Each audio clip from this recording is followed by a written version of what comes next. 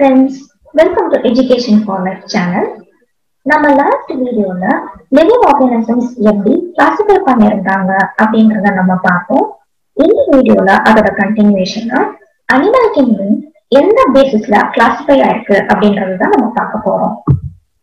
நான் முன்னாடியே சொல்லிருந்த மாதிரி லிவிங் ஆர்கானிசம்ஸ் ரேங்க்ஸா ஹயராக்கில அரேஞ்ச் பண்றாங்க. அதே மாதிரி நம்ம மெயினா கான்சென்ட்ரேட் பண்ண போறது five kingdom of classification of living ஆர்கானிசம்ஸ்ல kingdom Animalia தான். இந்த கிங்டம் அனிமேலியா எந்த பேசிஸ்ல எந்த அடிப்படையில இந்தந்த ஆர்கானிசம்ஸ்லாம் கிங்டம் அனிமேலியாக்குள்ளதான் வருது அப்படின்ற எவிடன்சஸ்லாம் என்ன? என்ன அடிப்படையில இதெல்லாம் அந்த அனிமேலியான்ற கிங்டம்குள்ள அடுக்கியிருக்காங்க அப்படின்றதான் நம்ம இந்த வீடியோல பார்க்க போறோம். இதுக்கு ஒரு ஏழு டிஃப்ரெண்டான பேசிஸ் அதாவது அடிப்படைகளை எடுத்திருக்காங்க. இந்த ஏழு பேசிஸ்ல தான் லெவன் டிஃப்ரெண்ட் ஃபைலாவா கிங்டம் அனிமேலியா வந்து அரேஞ்ச் ஆயிருக்கு. கிங்டம் ஃபர்ஸ்ட் ரேங்க் ஃபைலான்றது செகண்ட் ரேங்க் ஸோ கிங்டம் அனிமேலியாவா இருக்கிறத ஒரு லெவன் ஃபைலாக்கு கீழே வந்து அதை பிரிச்சு அரேஞ்ச் பண்றாங்க. எந்த பேசிஸ்ல அப்படின்னு பாத்தீங்கன்னா number one level of organization two body symmetry three germ layers four nature of sedum.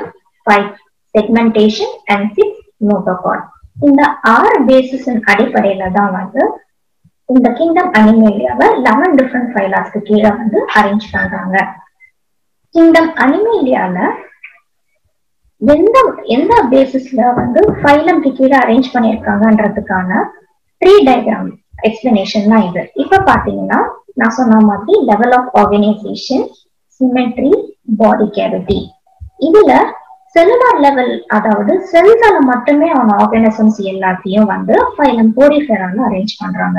Cellular level அல்லாம மத்த டிஷ்யூ அண்ட் ஆர்கன் சிஸ்டம் லெவல்ல இருக்கிறது எல்லாத்தையும் அதுக்கு கீழே இருக்கிற பத்து டிஃப்ரெண்ட் ஃபைலம்ஸ்ல அரேஞ்ச் பண்றாங்க. அதே மாதிரி சிமெட்ரி ரேடியல் சிமெட்ரியா இல்ல பைலேட்ரல் சிமெட்ரியா அப்படின்றத பொறுத்து அதுக்கு அடுத்தடுத்த ஃபைல ஃபைலமா அதுக்கு கீழே பிளாஸ்டிக் பண்றாங்க. அதே மாதிரி பாடி கேவிட்டி இருக்கா?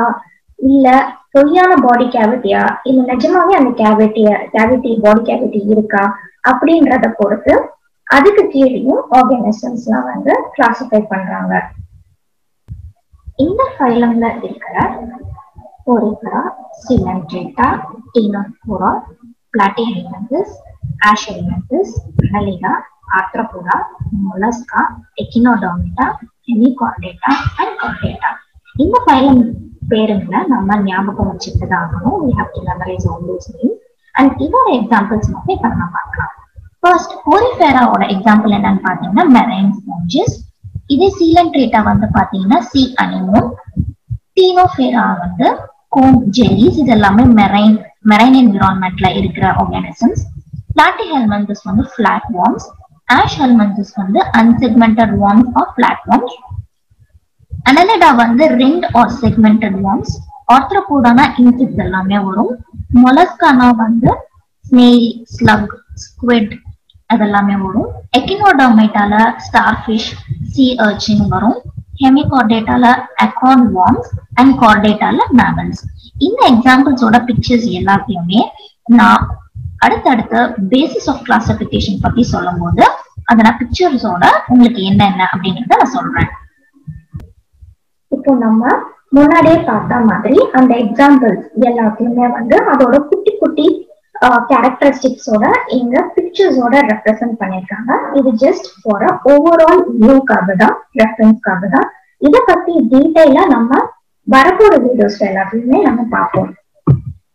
First level of organization. Cell is a fundamental unit of life அப்படின்றது நம்ம எல்லாருக்குமே தெரிந்த தெரிஞ்ச விஷயம் தான் எப்படி ஒரு பிரம்மாண்டமான கட்டடத்தை உருவாக்க பிரிக்ஸ் தேவையோ அதே மாதிரி ஒரு ஃபுல் ஆர்கானிசம் உருவாகிறதுக்கு செல்ஸ் தேவை. செல்ஸ் தான் அடிப்படையான கூறுகள். இப்போ எப்படி ஸ்பெஷலைஸ்டு செல்ஸ் எல்லாமே சேர்ந்து டிஷ்யூவா மாறும் டிஷ்யூஸ் ஸ்பெஷலைஸ்ட் டிஷ்யூஸ் எல்லாமே சேர்ந்து ஒரு ஸ்பெசிபிக் ஆர்கனமாகும் ஆர்கன் அது அதுக்கான வேலையை வேலையை பணிகளை செய்யும்போது அது ஒரு ஆர்கன் சிஸ்டமா மாறுது.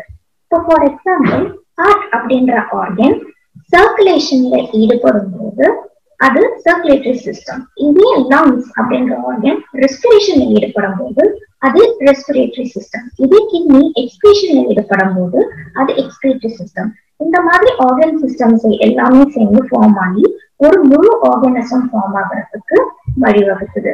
ஸோ இந்த மாதிரி தான் பாத்தீங்கன்னா ஒரு higher organism mammal vertebrates birds இந்த மாதிரியான ஆர்கனிசம்ஸ் எல்லாமே இந்த மாதிரியான cell tissues organ organ system அப்படின்ற ஆர்கனைசேஷன்ல தான் வந்து அது அரேஞ்ச் ஆயிருக்கு. இப்போ சில ஆர்கனிசம்ஸ் எல்லாம் பாத்தீங்கன்னா வெறும் செல்லுலர் லெவல்லே இருக்கும். அதாவது வெறும் செல்ஸால மட்டுமே அது மேடப்பா இருக்கும் அதே மாதிரி சில ஆர்கனிசம்ஸ் டிஷ்யூஸால மட்டுமே ஆர்கனைஸ் ஆயிருக்கும் சிலது டிஃபைன்டான ஸ்பெசிபிக் ஆர்கன்ஸ் மட்டுமே அது அதோட உடம்புல இருக்கும். ஸோ இந்த மாதிரி ஒவ்வொரு ஒவ்வொரு சில சில ஆர்கனிசம்ஸும் cellular level tissue level organ level organ system லெவல்னு அதோடைய செல்லுலார் மேடப்ப வச்சு அதை கிளாசிஃபை பண்றாங்க. அதுக்கு எக்ஸாம்பிள் தான் என்னதுன்னு பாத்தீங்கன்னா வெறும் செல்ஸால மட்டுமே ஆனா ஒரு வகையான ஆர்கானிசம் தான் ஸ்பாஞ்சஸ் அந்த ஸ்பாஞ்சஸ் எந்த ஃபைலுக்கு கீழே அரேஞ்ச் பண்ணிருக்காங்கன்னா அந்த வெரி ஃபர்ஸ்ட் ஃபைலம் ஓரிஃபெரா அடுத்தது பாத்தீங்கன்னா டிஷ்யூஸ் வெறும் டிஷ்யூவால மட்டுமே ஆனா ஒரு வகையான ஆர்கானிசம்ஸும் இருக்கு. அந்த ஆர்கானிசம்ஸ்லாம் ஃபைலம் டேட் கீழே அரேஞ்ச் பண்ணிருக்காங்க இப்போ லெவல் ஆஃப் ஆர்கனைசேஷன்ல பாத்தீங்கன்னா யூனிசெல்லுலார் மல்டி செல்லுலார்னு ரெண்டா நம்ம பிரிக்கலாம். யூனிசெல்லுலார்னா ஒரு சிங்கிள் செல் இருக்கும். அந்த சிங்கிள் செல்லே ஒரு ஹோல் ஆர்கானிசமா ஆட் பண்ணும். அதுக்கு எக்ஸாம்பிள் பாத்தீங்கன்னா ஈஸ்ட் பாக்டீரியா புரோட்டோசோவா இது மல்டி செல்லுலார்ல பாத்தீங்கன்னா மோர் தென் ஒன் செல் இருக்கிற எந்த ஒரு ஆர்கனிசம் நீங்க எடுத்தீங்கனாலும் அது மல்டி செல்லுலார் ஆர்கனிசம் தான். இப்ப வெறும் செல்ஸால மட்டுமே ஆனா ஒரு ஆர்கனிசம்னா என்னதுன்னு பாத்தீங்கன்னா ஸ்பாஞ்சஸ் இது ஈஸியா ரிமெம்பர் பண்ணிக்கணும்னா நீங்க சின்ன வயசுல ஸ்பாஞ்ச் பாப் ஸ்கொயர் பேண்ட் அப்படின்ற இந்த அனிமேஷன் சீரீஸை நீங்க பார்த்துருக்கீங்க அதுல வர அந்த மெயின் கேரக்டர் ஸ்பாஞ்ச் இருக்கீங்க இல்லையா? அதுதான் பொலி போலிஃபெராக்கு கீழே வர்ற ஆர்கானிசம் இது ஒரு கடல் வாழ் உயிரினம்.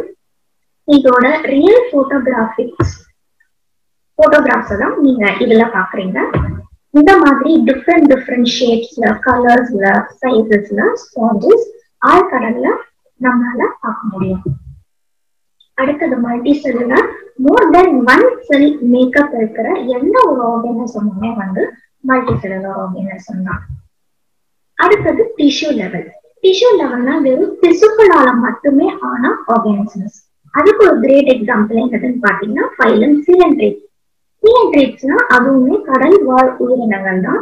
எக்ஸாம்பிளுக்கு சொல்லணும்னா ஜெல்லி ஃபிஷ் சி அனிமல்ஸ் எல்லாம் சொல்லலாம். நீங்க ஃபைண்டிங் நீமோ படத்துல பாத்துருப்பீங்கன்னா நீமோ வந்து ஒரு ஃபிங்கர் லைக் ஸ்ட்ரக்சர்ஸ் இருக்கும் இல்லையா? அந்த ஸ்ட்ரக்சர்ஸ் உள்ளதான் வந்து அதை வந்து அது வீடா உபயோகிச்சு வாழ்ந்துட்டு இருக்கும். ஸோ இந்த சி அனிமல்ஸ் எல்லாமே வந்து கடல்வாழ் உயிரினங்களுக்கான ஒரு வாழ்விடமா அமையுது. இதோட ரியல் லைஃப் போட்டோகிராஃப்ஸ் நீங்க இங்க பாக்குறீங்க இந்த ஜெல்லி ஃபிஷ் சி அனிமல்ஸ் இது எல்லாமே ஃபைலம் சீலன் ட்ரேட் கடையில அரேஞ்ச் ஆயிருக்கு நீ அப்படின்னு பாத்தீங்கன்னா இது வெறும் திசுக்களால் மட்டுமே ஆன உயிரினங்கள். அடுத்தது ஆர்கன் லெவல் ஆஃப் ஆர்கனைசேஷன் அதாவது டிஷ்யூஸ் எல்லாம் சேர்ந்து ஆர்கனா ஃபார்ம் ஆகும்னு சொல்லியிருந்தேன் இல்லையா? அந்த மாதிரி ஆர்கன்ஸ் ஸ்பெசிஃபைடான ஆர்கன் ஸ்பெஷலைஸ்டான அந்தந்த ஃபங்க்ஷன்ஸ் செய்யும். இந்த மாதிரி ஆர்கன் லெவல் ஆஃப் ஆர்கனைசேஷன் இருக்கிற ஆர்கனிசம்ஸ் வந்து பிளாட்டிகல் மெம்பர்ஸ் அப்படின்ற ஃபைலம் கீழே கிளாஸிஃபை பண்ணியிருக்காங்க. அதுக்கு எக்ஸாம்பிள் பாத்தீங்கன்னா கடல் கடியில இருக்கிற சில வகையான பிளாட்ஃபார்ம்ஸ் அண்ட் நம்ம காமனா கம் அக்ராஸ் பண்ற பிளாட்ஃபார்ம்ஸ் பிளாட்ஃபார்ம்ஸ் பார்த்தீங்கன்னா நம்ம பீஃப் போர்க் பெரிய சமைக்காம உண்ணும் போது ஒரு வகையான பூச்சிகளை நம்ம உட்கொள்றதுக்கு முற்படுவோம் அந்த ஒரு வகையான நாடா பொருட்கள் பிளாட்ஃபார்ம்ஸ் நெமட்டோட்ஸ் இது எல்லாமே பிளாட்டி ஹெல்மெண்டஸ் அப்படின்ற கைலமிக்கே தான் வரும். அதுக்கு இன்னொரு சில எக்ஸாம்பிள் சொல்லணும்னா லிவர் ஃப்ரூட் அண்ட் பிளானேரியாவும் சொல்லலாம். அடுத்தது organ system level of organization இது ஹையர் லெவல் ஆர்கனைசேஷன்ஸ்ல மட்டும்தான் இருக்கும் அதாவது வர்டிபிரேட் அனலட்ஸ் ஆத்ரபோடா மோலஸ் எக்கினோடம்ஸ் அதாவது எல்லா வகையான இன்செக்ட் ஷெல்ஸ் இருக்கிற ஆர்கனிசம்ஸ் பூச்சிகள் முதுகெலும்புகள் இது எல்லாமே organ system level of organization தான் இருக்கு. அதுக்கான ரியல் லைஃப் எக்ஸாம்பிள்ஸ் தான் இதுல கொடுத்துருக்காங்க. அடுத்து organ system level of organization பார்த்தோம்னா நம்ம சொன்ன மாதிரி digestive system respiratory system circulatory system அப்படின்னு நிறைய சிஸ்டம் இருக்கு இல்லையா? இப்போ அதுலயே ஒரு பர்டிகுலர் சிஸ்டமான டைஜஸ்டிவ் சிஸ்டம் மட்டும் நம்ம எடுத்துக்கோன்னு வச்சுக்கிட்டீங்கன்னா அதுல ரெண்டு வகையா இருக்கு. ஒன்னு இன்கம்ப்ளீட் இன்னொன்னு கம்ப்ளீட் இன்கம்ப்ளீட் அப்படின்னா ஏனஸும் மவுத்தும் ஒரே ஒரு துவாரமா இருக்கு. அது வந்து ஒரே ஒரு துவாரத்தின் வழியா சாப்பாடு உள்ளேயும் எடுக்கப்படுது. அதே சேம் டைம் அது சேம் சமயம் அதே துவாரத்தின் வழியா தான் செரிமானமான சாப்பாடு வெளியில வருது அப்படின்னா அது இன்கம்ப்ளீட் டைஜஸ்டிவ் சிஸ்டம் இதே கம்ப்ளீட் டைஜஸ்டிவ் சிஸ்டம்னா சாப்பிடுற துவாரம் ஒன்னாவும் சாப்பாடு செரிமானமான சாப்பாடு வெளியேற துவாரம் வேலையாகவும் இருந்ததுன்னா அது கம்ப்ளீட் டைஜஸ்டிவ் சிஸ்டம் இதோட தெளிவான எக்ஸாம்பிள்ஸ் தான் நம்ம இங்க பார்த்துருக்கோம். இன்கம்ப்ளீட் டைஜஸ்டிவ் சிஸ்டம்க்கான ஒரு எக்ஸாம்பிள் பாத்தீங்கன்னா பிளனேரியா அதாவது ஒரே ஒரு துவாரத்தின் வழியானா சாப்பாடு உள்ளேயும் எடுக்கப்படுது செரிமானமான சாப்பாடு வெளியிலேயும் போகுது. அதே மாதிரி இன்கம்ப்ளீட் டைஜஸ்டிவ் சிஸ்டம் அதாவது வாய் தனியா சாப்பாடு உள்ள போகிறதுக்கும் ஏனஸ் அப்படின்றது சாப்பாடு செரிமானமான சாப்பாடை வெளியேற்றுறதுக்கு ஏனஸ்ன்றது இந்த மாதிரி தனித்தனி துவாரங்களா இருக்கிறது கம்ப்ளீட் டைஜஸ்டிவ் சிஸ்டம் இதோட இன்னொரு கிளியர் கட் கிராஸ் செக்ஷன் ஒன்னு காலப் இன்கம்ப்ளீட் சிஸ்டம்க்கும் ஃப்ராக் கம்ப்ளீட் சிஸ்டம்க்கும் இந்த எக்ஸாம்பிள் கொடுக்கப்பட்டிருக்கு அடுத்தது பாடி சிமெட்ரி சிமெட்ரினா என்ன வெட்டு ஒண்ணு துண்டு ரெண்டு அப்படின்னு ஒரு பழமொழி கேள்விப்பட்டிருப்பீங்கல்ல ப்ளீஸ் ஒரு ஆர்கனிசம் நம்ம வெட்டுறோம் அப்படின்னா சம பங்கா வருதா இல்ல ஈக்குவல் ஹார்ஸா வருதா அப்படின்றத பொறுத்து அதை கிளாஸிஃபை பண்றாங்க. அந்த ஃபர்ஸ்ட் வகையா பாத்தீங்கன்னா ஏசிமெட்ரிக்கல் அதாவது நெட்டுனா சமமான பங்குகள் கிடைக்காத ஆர்கானிசம்ஸ் ஏசிமெட்ரிக்கல் எக்ஸாம்பிள் நான் முன்னாடியே நம்ம பார்த்தது ஸ்பான்சஸ் கடல் வாழ் ஸ்பான்சஸ் வந்து இர்ரெகுலரான ஷேப் அண்ட் சைஸ்ல தான் இருக்கும்.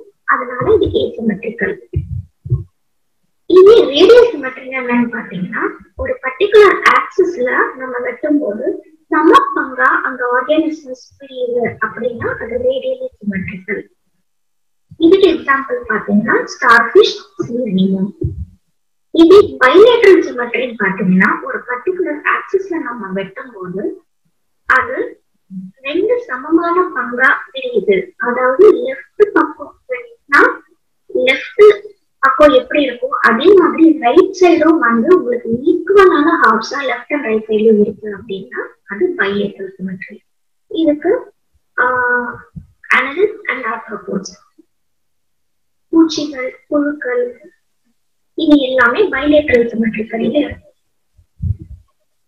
இதோட கம்பேரிசன் தான் ஏசிமெட்ரிக்கல் ரேடியல் பைலேட்ரல் சிமெட்ரிக்கல் அப்படின்ற மூணுத்தோட கம்பேரிசன் தான் இந்த இமேஜ் நீங்க பாக்குறீங்க இது வரைக்கும் நம்ம level of organization and body symmetry அப்படின்ற ரெண்டு லெவல் பேசிஸ் ஆஃப் ஆர்கனைசேஷன் என்னது அப்படின்றத நம்ம பார்ப்போம்.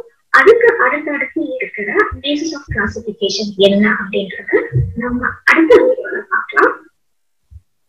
இந்த வீடியோ உங்களுக்கு பிடிச்சிருந்ததுன்னா லைக் பண்ணுங்க ஷேர் பண்ணுங்க கமெண்ட் பண்ணுங்க. அண்ட் சேனலை மறக்காம சப்ஸ்கிரைப் பண்ணுங்க பெல் ஐக்கானை கிளிக் பண்ணுங்க தேங்க்யூ